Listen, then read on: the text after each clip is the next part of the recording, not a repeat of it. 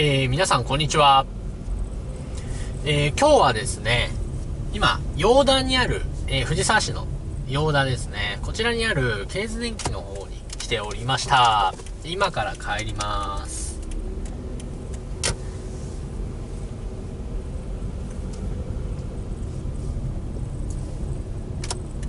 ちょっとどうでしょうかね。出られますかね。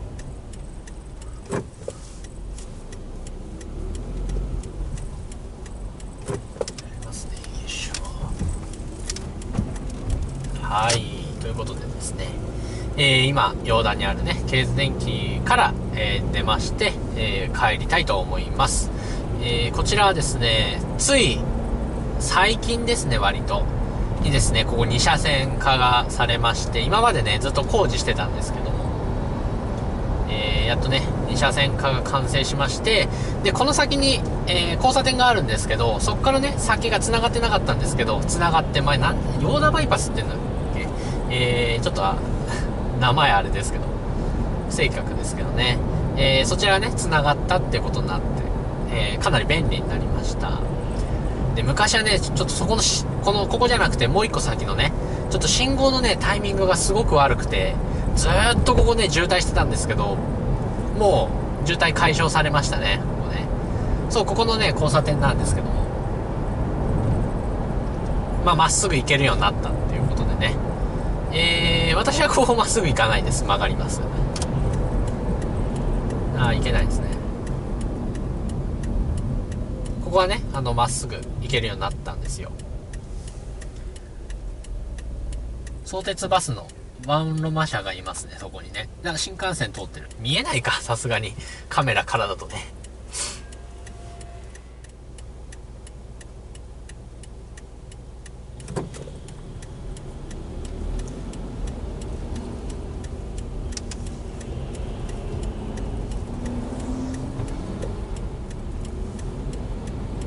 で、あの、ここの交差点が今まで直進はできなかったんで、右折か左折かだったんですよね。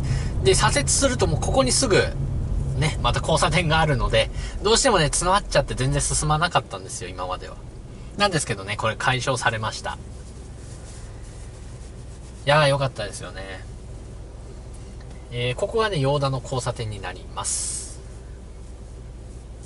さあ、今日はね、ちょっと、えー、ケーズ電機に行ってきたわけなんですけど、まあ、いろいろ見てきました。えー、っとですね、まず、ちょっとパソコンのソフトをね、見てきたんですよ。で、えー、っと、グラフィックソフト、ね、なんですけど、ちょっとね、仕事で、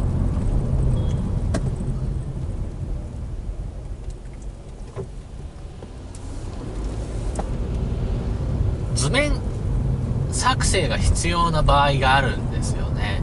まあ今のところ私はまだね、あの図面作成が必要な、あのー、仕事は来てないんで、今までなくて大丈夫だったんですけど、ちょっとね、あのー、導入を考えておりましてね。で、まあ図面、その、平面図ですよね、建物とかの。設計図的な、設計図じゃないか、なんて言うんだろう、あの、ね、図面なんですけど、それをね、作るために、あの、CAD ってあるじゃないですか。あれね、ちょっと、使ってみようかなと思ったんですけど、まあ、あの、いろんなね、えー、知人のお話を聞くとですね、結構難しい、正直意味がわからんという感じなんですよ。で、いろんなね、先輩の方とかに聞いても、えー、お話に出てくるのはですね、花子、ジャストシステムのやつですよね。あの、一太郎の、あれですよ、親戚、親戚じゃないけど、まあ、一太郎のね、あのシリーズのやつ、花子って、えー、ご存知かと思うんですけど、それ結構使ってる方がいらっしゃって、うん。ということでね、ちょっと今見てきたんですよね。説明見る限りではね、なかなか良さそうなんですよ。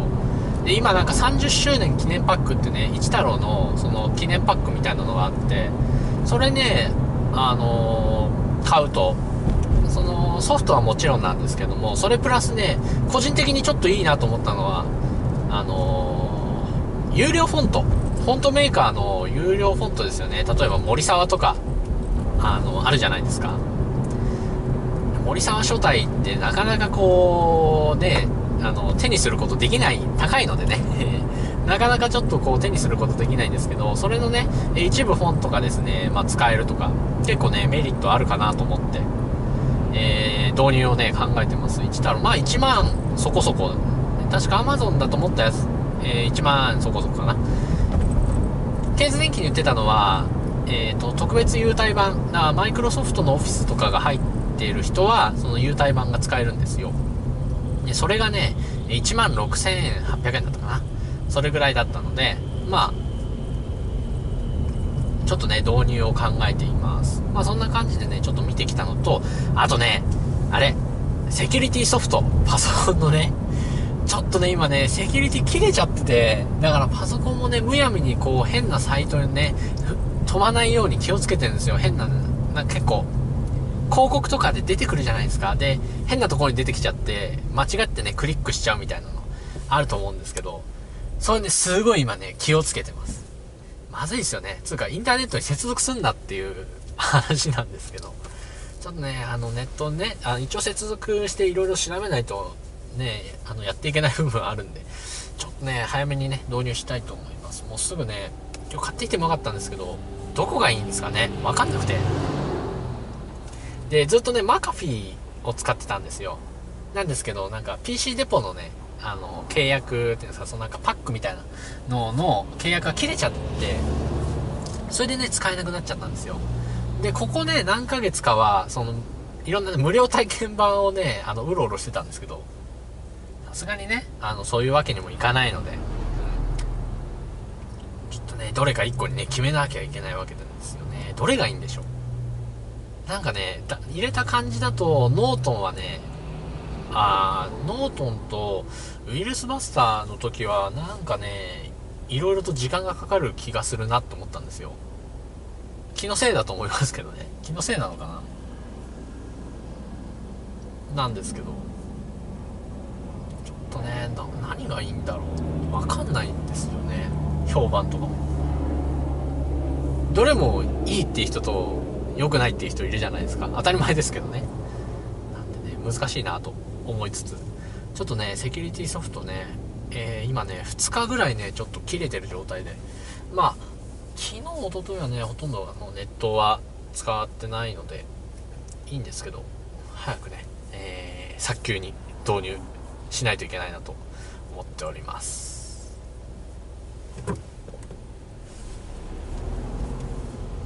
ということで、まあ一応パソコンのね、ソフト、その辺ちょっと見てきました。まずね、あの、えー、一太郎と、えー、それから、あとウイルス対策ソフトですね。まあでも、ケース電機ね、あんまり置いてなかったですね。ウイルス対策ソフト。ノートンと、えー、っと、ウイルスバスターと、あとなんだっけ、セキュリティゼロ。あの、安いやつ。と、あとなんかよくわからん知らんやつだけが置いてありましたね。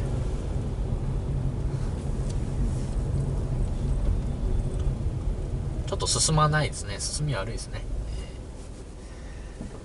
えー、ね、ちょっと今日、もう一回ネットでね、えー、見てみて、ですよね。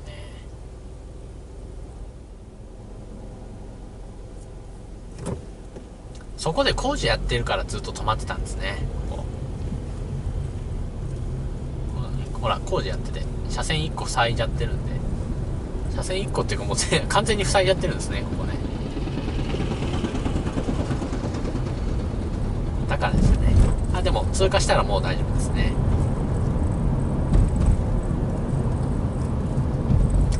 あとですね電気屋さんで、えー、ソフトの他に見てきたのはねまずプリンターのねインク。キャノンの新しいプリンターですね。MG6730 っていう型番の、えー、プリンターをですね1ヶ月ほど前に購入したんですよ。で今はまだね最初から入ってたあのインク、純正インクがまだ使い終わってないんですけども、まあいつ切れてもおかしくないので、ちょっとね、見てきたんですけれども、なんかどれがいいのかなと。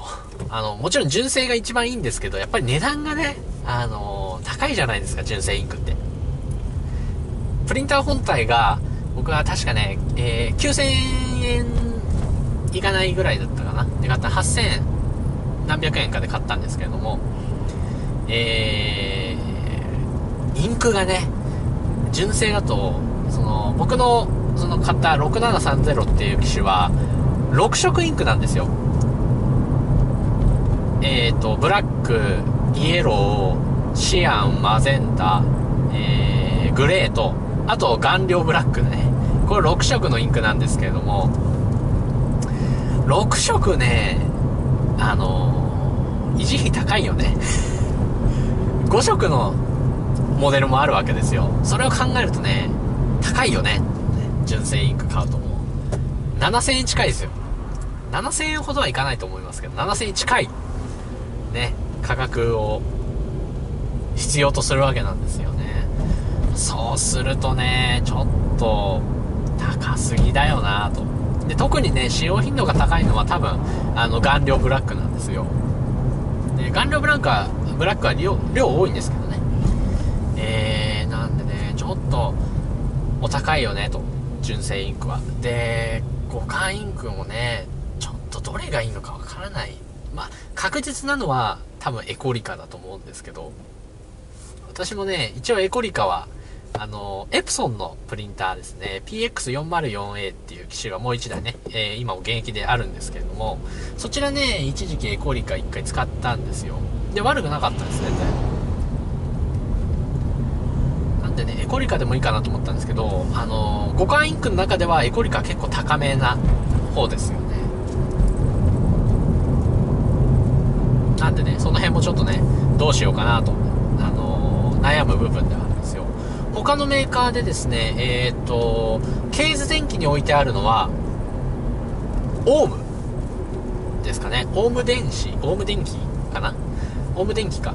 の、えー、インクがね、置いてありまして、そちらが、まあ、そこそこの値段。ちょっと、あの、エコリカよりは確か安めだったと思います。がいいのか。オウムはね、ちょっと使ったことないのでわからないんですよ。品質とかがね。で、他ね、ヤマダ電機とか行くとよく置いてあるのが、カラークリエーションね。カラクリはね、品質自体は悪くないんですけど、あの、印刷した後の品質ね。は、はそんな悪くないんですけど、えー、おレギュラー117円ですね。ポンタ会員。ってことは、コスモザカードだとさらに安いのか？もうめっちゃ安いですね。117円だ。あ、で、インクですよね。えっ、ー、と、カラークリエーションはですね、えー、黒が詰まりやすい気がします、僕的に。えー、だいぶ前に使っていたキャノンのね、えー、IP4200 っていう機種があるんですけど、それもね、カラークリエーションのインクを使ってたんですよ。その時ね、よくわかんなくてインクのこと。僕はね、高校生ぐらいの時ですよ。で、いまいちよくわかんなくて、とりあえず、PC デポでなんか安かった、安売りされてた、そのカラークリエーションのね、インクを買ったんですね。7E と9ですね。型番的には、インクの。で、それを使ってたんですけれども、やっぱりね、黒だけが出なくなるんですよね。だから、なんか文章全体がね、赤くなっちゃうっつうか、そういう、なんか薄く赤くみたいな風になっちゃって、あー、あれ？と思って、これ、やっぱ互換インクだからなのかなと思ったんですよ。で、その後、今ね、先ほどもちょっとちらっと出ましたけど、PX404A 現役で使ってる、えー、エプソンのプリンター。こちらもね、実はカラークリエーションのインクをつい1年ほど前に1回使ったんですね。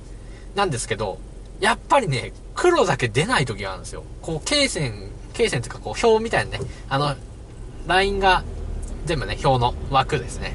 枠をつけたんですけど、枠がね、あのー、全部印刷されてないと。そして文字のところも白抜きになっちゃって、ああ、なんだこれみたいなね。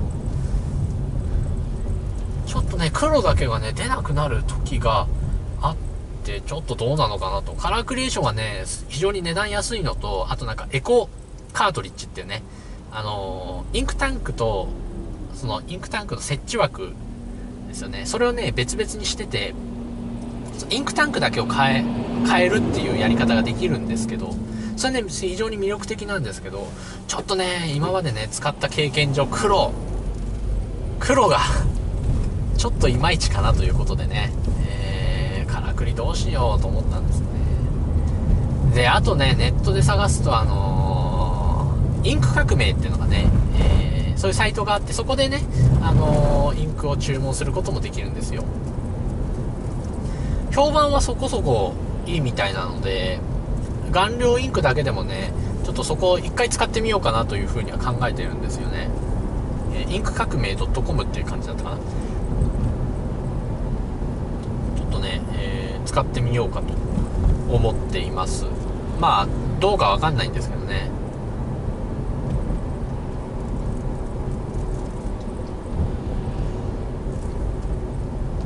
まあ、そんな感じでですね、インク見てきまして。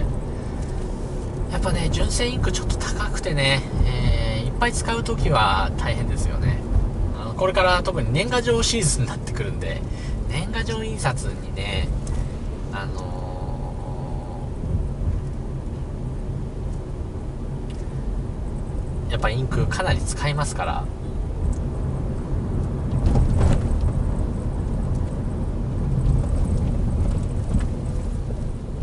少しでもね、こう、あの、コストは抑えたいんですけど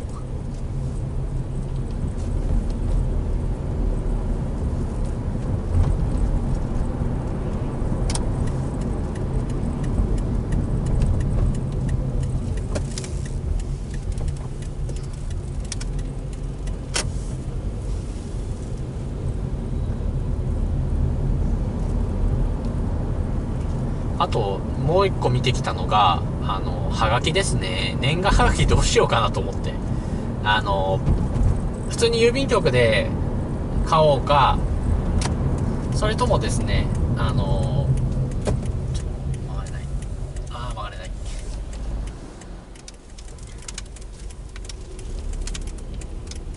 郵便局のね、普通のハガキを買うか、それとも市販のね、もうちょっとあの、綺麗な、あの、白色度のね、高い、えーはがきを買おうかってことでね。結構いつもね、あの、エレコムのインクジェットはがき使ってるんですけど、非常にね、あの、真っ白でね、普段のあの、はがきですね。年賀状じゃなくて、使ってるんですけどね。なんでね、ちょっとね、その辺もいろいろ見てね、またちょっと、えー、電気屋さんね、改めていきたいと思います。ということでね、今日はこの辺でちょっと失礼させていただきたいと思います。えー、それでは、えー、ここまでね、ご視聴いただきましてありがとうございました。それでは。